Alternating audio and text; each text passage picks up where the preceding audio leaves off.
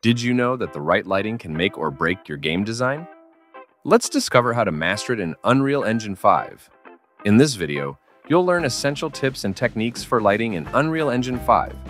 Perfect for beginners looking to enhance their game development skills. Let's talk about lights in Unreal Engine 5. Now I want to delete all the lights in my scene. I need some darkness. Under light section, as you see, there is some light types. I'll pick the point light for now. Point light acts like any lamp in real life. It gives us some options. There is an important property named mobility.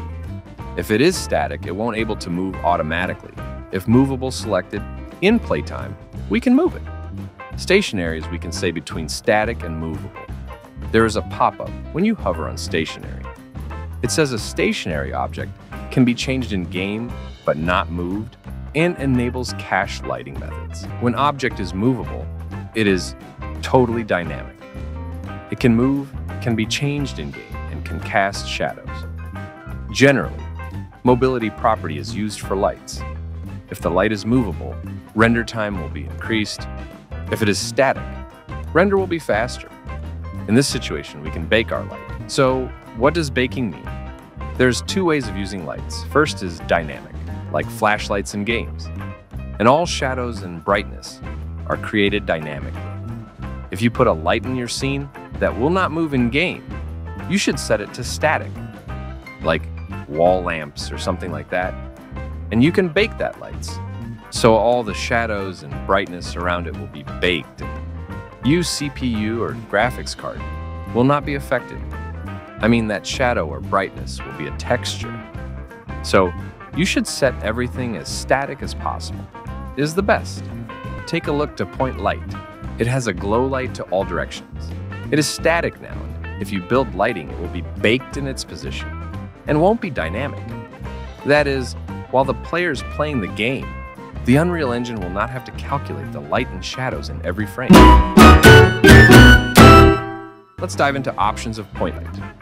In Details panel, we can change intensity. It illuminates the inside of the circle around the light, but it affects some outside the circle as you see.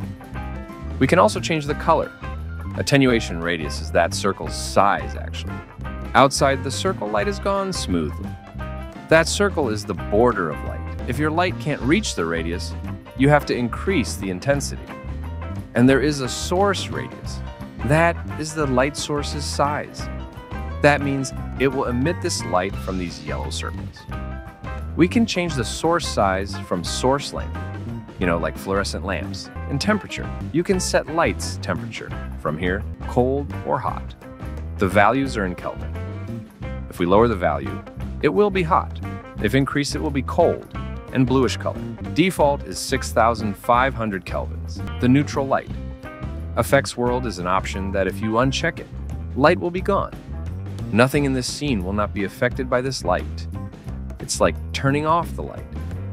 If you disable cast shadows, as you see all shadows from this light will be gone. Indirect lighting intensity increases the brightness where light cannot reach directly. With this type of adjustment, you need to build the lights to see the final result.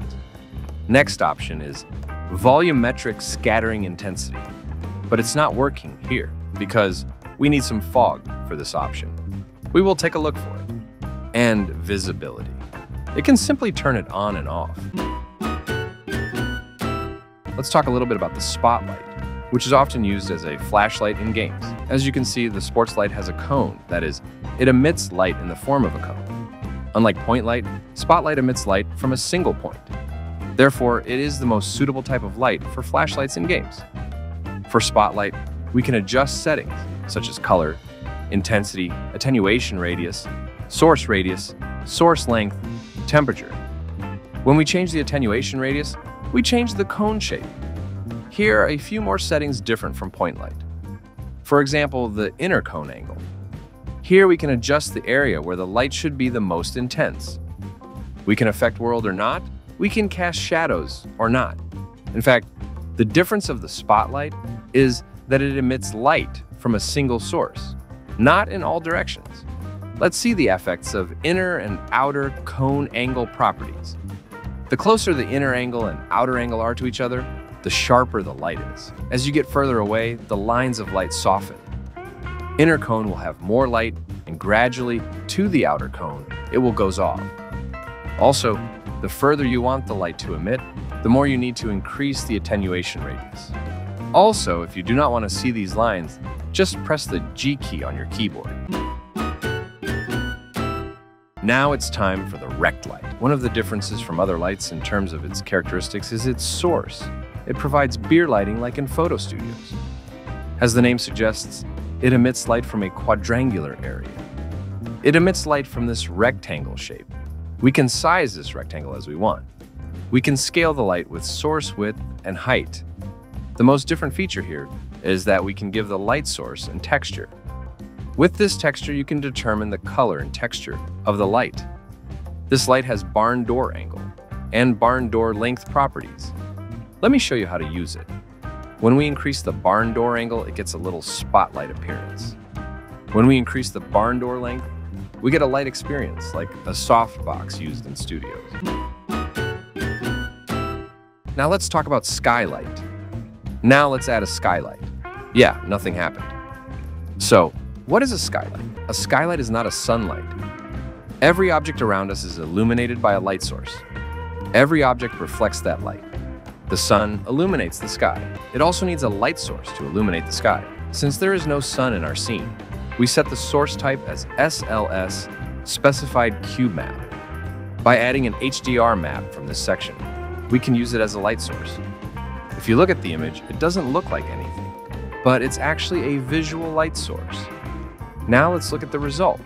Yes, our dark scene is illuminated, and in the shades of the HDRI image. Changing the position of the skylight won't make any difference.